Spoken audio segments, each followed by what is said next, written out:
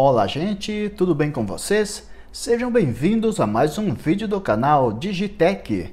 No vídeo de hoje, vamos falar tudo sobre a super torre de som da LG e se vale a pena ou não investir nessa caixa em 2022. Até porque já existem outras marcas no mercado oferecendo aí basicamente a mesma coisa mas a maioria não tem um som tão balanceado como a LG RN9 tem.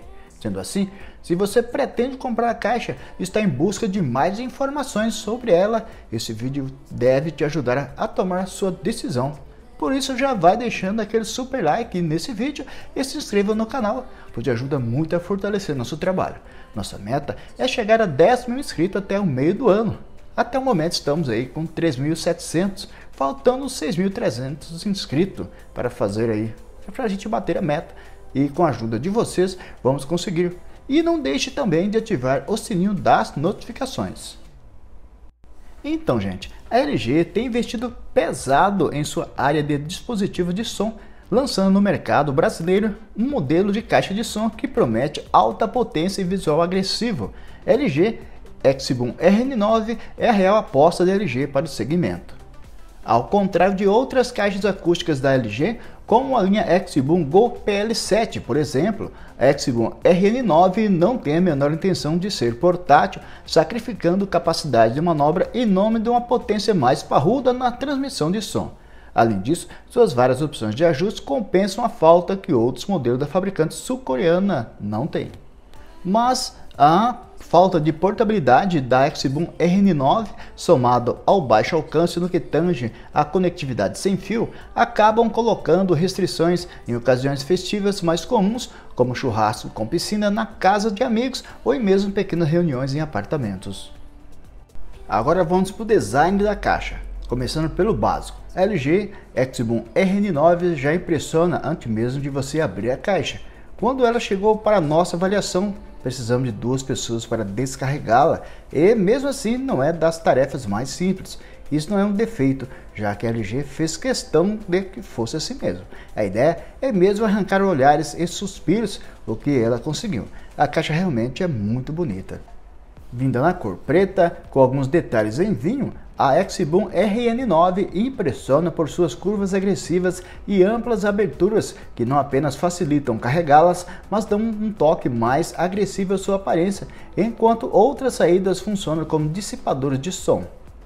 No topo, o painel de botões e controles estrategicamente posicionados completam o pacote. A caixa de som acompanha também um controle remoto básico. Se a frente e o topo da caixa regalam os olhos, a traseira dela surpreende pela simplicidade. No topo traz entradas para microfone e guitarra na parte alta, junto de uma entrada para cabo auxiliar, e na base o soquete para cabo de energia. Entre um e o outro, um grande painel cego em preto. Pode não parecer, mas isso é outro elogio. O mercado de torres sonoras é bastante pulverizado por máquinas que trazem tantas entradas e bifurcações que, além de deixar o aparelho mais feio, trazem pouca serventia à maioria dos usuários e acaba até encarecendo o produto. Uma vez ligada, a LG Xboom RN9 traz um esquema de luzes mais suaves em sentido contrário à linha Xboom Go PL, que aposta em LEDs mais evidentes e fortes, que podem ser programados de forma rítmica, adequando-se aos sons graves emitidos pelas músicas ouvidas. No geral, é um visual bastante impactante e, embora não seja do gosto de todos, promete agradar a maioria. Agora vamos à conectividade. Aqui, como diz a expressão, é onde a porca torce o rabo. A Xboom RN9 aposta na conexão Bluetooth para parear-se não apenas com vários smartphones ao mesmo tempo, como também a outras caixas de som semelhantes. A ideia é, evidentemente, aprimorar a experiência sonora. Estamos certos que isso funcionaria, mas com algumas ressalvas. A primeira refere-se ao alcance do Bluetooth. Nós testamos a caixa primeiramente em um ambiente fechado, levando-a depois a um local a céu aberto. A má notícia é que em nenhum dos casos a recepção foi das melhores. O Bluetooth se conectou bem aos smartphones usados para teste. É, usamos aqui um Realme e também um é, Samsung e por último um iPhone 13 Pro.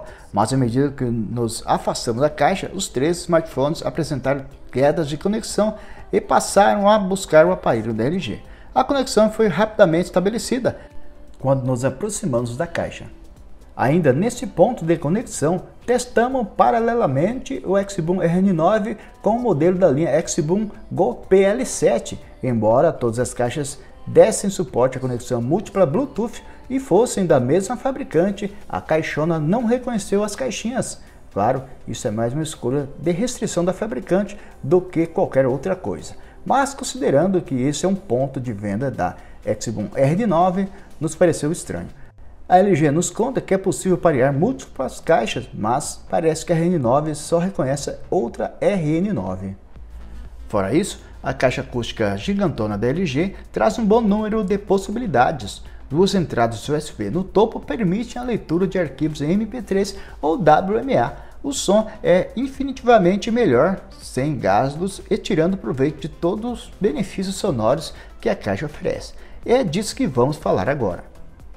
Se a conectividade da LG Xboom RN9 não agradou, o som certamente busca compensar essa falta com uma das capacidades mais impressionantes até hoje. O recurso Super Bass da caixa acústica promete graves poderosos, mas esse é um feliz caso onde a linguagem de vendas da LG na verdade nivela por baixa função ela é muito melhor do que a empresa faz parecer, já que os tons graves não apenas estão mais evidentes, mas não estouram no subwoofer, nem tampouco desequilibram agudos vocais, gerando uma experiência homogênea de som.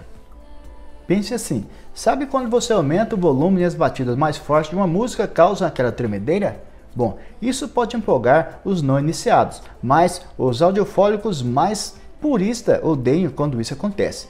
Além de machucar a caixa de som, os graves acabam escondendo outros tons. Além disso, a caixa de som traz uma série de opções de equalização que supera a média de aplicações comuns dessa seara. Seletores pré-determinados normalmente se mantêm no básico, rock, pop, clássico, jazz, voz. A caixa acústica da fabricante sul-coreana conta com um botão de equalizadores especiais que adiciona mais opções como mambo, samba e outras variações. Outro recurso bem bacana presente na Xboom é a função karaokê. Com esse recurso ativado, a caixa de som remove as frequências de voz presenciais das músicas e com o microfone você poderá cantar suas músicas preferidas sozinho ou com sua família e amigos. Tudo isso controlado pelo app LG Xboom para smartphone, iOS e Android. Através do app, você pode controlar a reprodução de música na Xboom RN9, gerenciar a conexão Bluetooth ao equipamento, modificar o esquema de iluminação e controlar o equalizador.